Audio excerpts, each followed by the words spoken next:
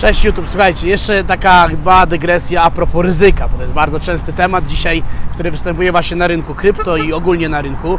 No i zwróćcie uwagę, że jakbyście skupili się na bardzo prostej rzeczy, czyli na zadaniu sobie krótkiego pytania, bo to tylko i wyłącznie o to chodzi. Głównie, no bo jeżeli ktoś ma ciągutkę do hazardu i tak dalej, no to powinien sobie gdzieś to po prostu podzielić, czyli na przykład, nie wiem, jeżeli lewarujesz mocno i się likwidujesz często, albo grasz z przesadzonym ryzykiem i prowadzisz różnych metod, żeby przejść to, a mimo wszystko dalej sobie z tym nie radzisz, to jakby na to jest proste rozwiązanie i można to rozwiązać.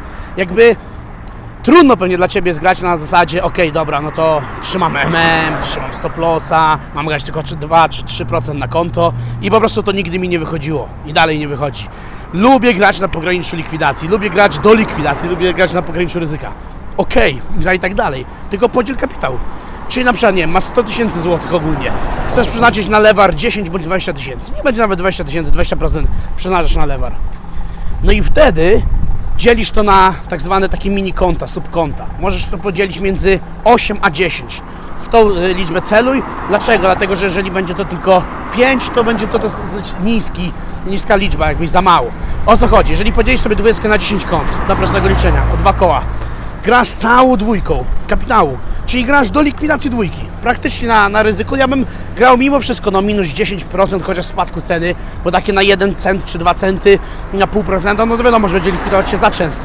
Ale na przykład, nie będziesz grał na 3, nie, no, 3 może za mało, ale między 7 a 10% ceny, to mimo wszystko i tak jest dosyć niski stop loss. Znaczy niski do likwidacji. Stop loss w miarę daleki, ale do likwidacji dość fajną pozycję można zagrać, mając na przykład, nie wiem, wejście w okolicach 50 centów, a likwidację na 45 powiedzmy, tak? To i tak jest jakby no dosyć mocne ryzyko, ale dosyć szybko tym sposobem, jeżeli masz fajną trafność, zrobisz konto razy dwa i wtedy tą, y, tą drugą dwójkę, którą ugrywasz, wrzucasz sobie do tej szufladki. Czyli masz tych 10 szufladek, jedno zabrałeś, uzupełniasz ją. Jeżeli dobrze Ci pójdzie, to robisz 11 szufladkę, 12. Albo trzymasz cały czas 10 i do 11, 12 i tak dalej dokładasz sobie do spota. Albo na życie sobie zabierasz. Ale na przykład wylikwidujesz. Wylikwidujesz dziewiątą, ósmą, siódmą, szóstą. Na piątej dopiero zaczniesz zro zrobić czwórkę, to te dwa koła walisz na szóstą szufladę. Jak zrobisz kolejne dwa, to robisz na siódmą, kolejne dwa to na ósmą i tak dalej. I cały czas grasz tu dwójką. Nie zwiększasz kapitału. To, co ugrasz jako dubla, zabierasz. Dlaczego? Dlatego, że będziesz grał z trójki, będziesz czwórki, piątki, to nie będziesz zarabiał znowu, bo będziesz zwiększał pozycję. A bardzo fajne dla nas psychologicznie proste jest to, żeby dostosować się do danej jakby pozycji i grać tylko ją jakby grając przez 2, 3, 4 miesiące tą jedyną dwójką, to zobaczysz, że jakby ty już dokładnie wiesz, ile masz rozmiaru pozycji Bitcoina zagrać, ile sztuk Ethereum, ile sztuk danej monety, bo to będą stałe praktycznie rozmiary, nie? Więc to jest to, ale to taka mała dygresja, bardziej chcę pogadać o ryzyku. Jeżeli jesteś z tych takich hazardistów typowych i mimo wszystko gdzieś tam ryzykujesz więcej i grasz te pozycje większe, to zadaj sobie bardzo proste pytanie, ale wnikliwie. Co jeżeli nie wejdzie? Czy jesteś na to przygotowany? To jest proste pytanie, ale tak serio. Nie, bo na przykład, nie wiem, przy, przekładamy dużo opozycji i nagle się nas e, zeruje i nie mamy się na rynek, nie mamy kasy na hossę, nie jesteśmy w rynku krypto i tak dalej, i tak dalej. Biedujemy, mamy kredyty, bankrutujemy, dużo takich rzeczy. Więc zadaj sobie przed grą te pytanie.